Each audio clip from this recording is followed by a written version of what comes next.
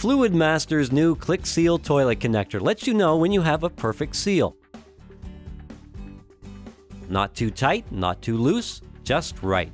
The Click Seal nut works just like the gas cap on your car and also prevents the over tightening and cracking of the connector nut and the fill valve shank.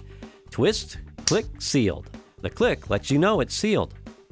The only tool required for this installation is an adjustable wrench. Turn off the water supply shutoff valve.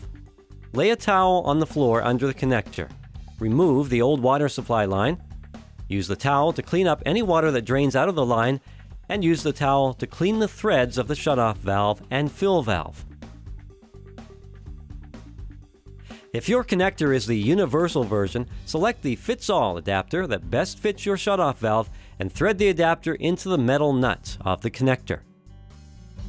Thread the metal nut onto the shutoff valve and tighten one half turn past hand tight with a wrench.